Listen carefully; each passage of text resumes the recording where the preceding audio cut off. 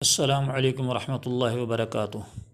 میں ہوں عبدالغفور خان اور آپ دیکھ رہے ہیں میرا یوٹیوب چینل پاتھ آف فلاح۔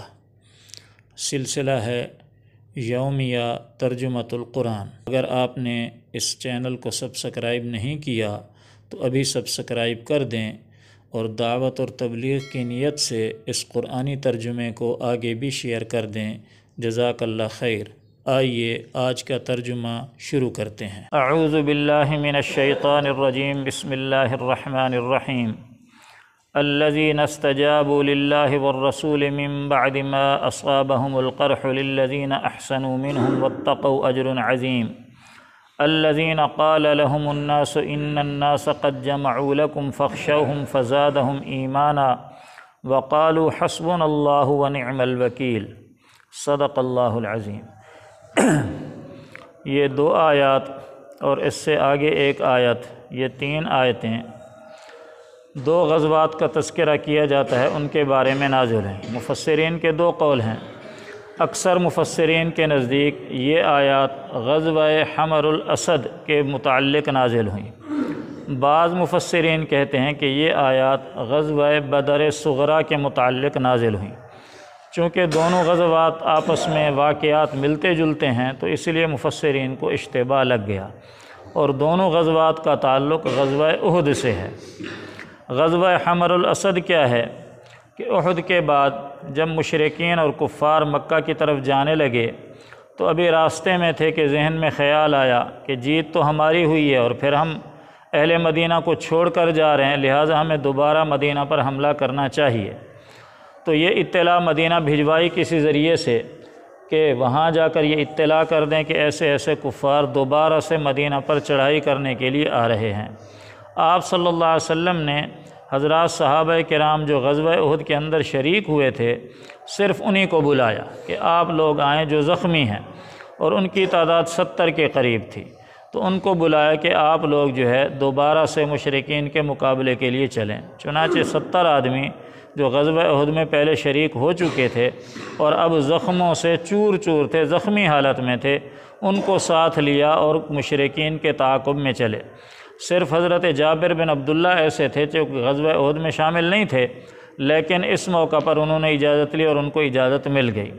تو یہ حضرات زخمی ہونے کے باوجود چلے اور مدینہ منورہ سے آٹھ میل باہر ایک جگہ تھی جس کو حمرہ الاسد کہتے ہیں۔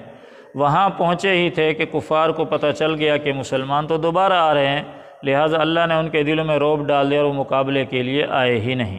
آپ صلی اللہ علیہ وسلم نے تین دن وہاں قیام فرمایا اور اس کے بعد واپس تشریف لے آئے۔ تو یہ ہے غزوہ حمر الاسد۔ اور غزوہ بدر صغرا کیا ہے؟ وہ بھی اسی سے ملتا جلتا واقعہ ہے۔ وہ یہ ہے کہ غزوہ عہد کے بعد جب مشرقین مکہ پہنچ گئے تو وہاں جا کر احساس ہوا کہ ہم نے غلطی کی، ہمیں دوبارہ جانا چاہیے۔ لہٰذا انہوں نے ایک آدمی کو تیار کیا کہ آپ جائیں اور جا کر مسلمانوں کو ڈرائیں کہ مشرقین نے اتنا بڑا لشکر تیار کر لیا ہے اور وہ دوبارہ سے آ رہے ہیں مدینہ پر چڑھائی کرنے کے لیے۔ اور اس آدمی کو دس اونٹ انعام کے دیے مشرقین نے۔ وہ آدمی آیا اور آ کر صحابہ کرام سے کہا کہ ایسے ایسے مشرقین جو ہے وہ تو بہت بڑا لاؤ لشکر تیار کر کے تمہاری طرف آ رہے ہیں۔ آپ صلی اللہ علیہ وسلم نے صحابہ کرام کو فرمایا کہ ٹھیک ہے، آنے دیں۔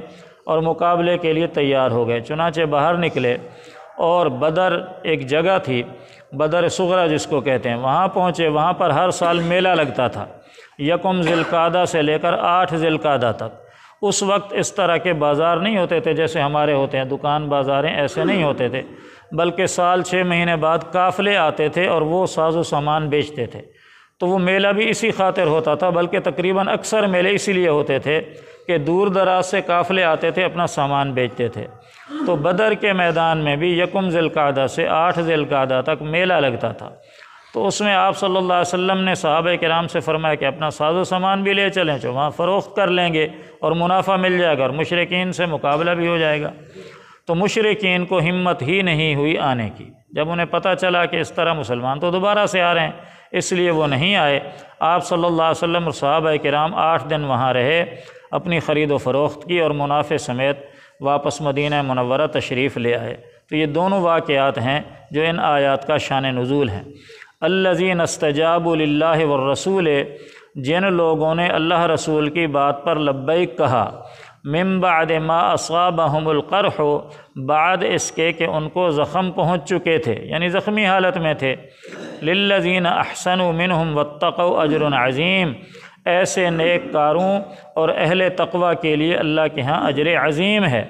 الذین قال لهم الناس، جن لوگوں سے کہا، لوگوں نے یعنی کفار نے کہا مسلمانوں سے، ان الناس قد جمعوا لکم تحقیق لوگوں نے تمہارے لیے بڑا مجمع تیار کر رکھا ہے۔